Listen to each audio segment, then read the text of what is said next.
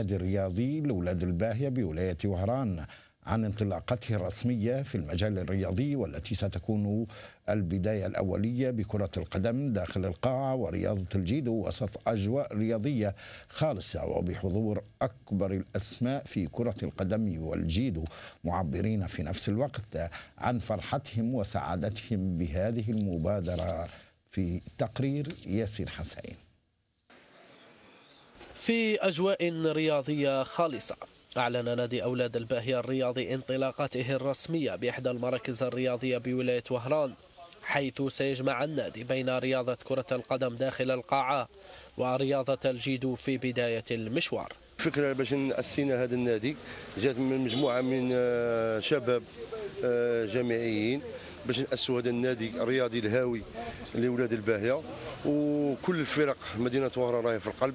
والهدف تاعنا من من هذا تأسيس هذا النادي هي آه، تطوير الرياضة بمدينة وهران الخبرة تاعي وصوالح كاع الإمكانيات بإذن الله آه، نعطيها كاع لخوتي ونوعدهم باللي العام الأول إن شاء الله نوقفوا في المنصة إن شاء الله.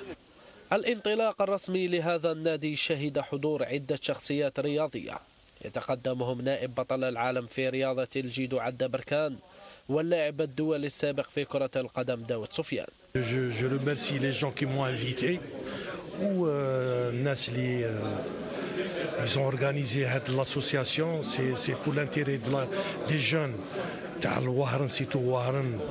و euh, pour l'intérêt de l'Algérie تانيك. راني فرحان كي شفت هذه المبادرة كيما هكا. التحضيرات هذه الكلمات هذو ناس كيما خوتي ثاني كيما هكا الله يبارك ناس هكا تشوف تشوف فيهم التيمه تاع الحياة وكاع.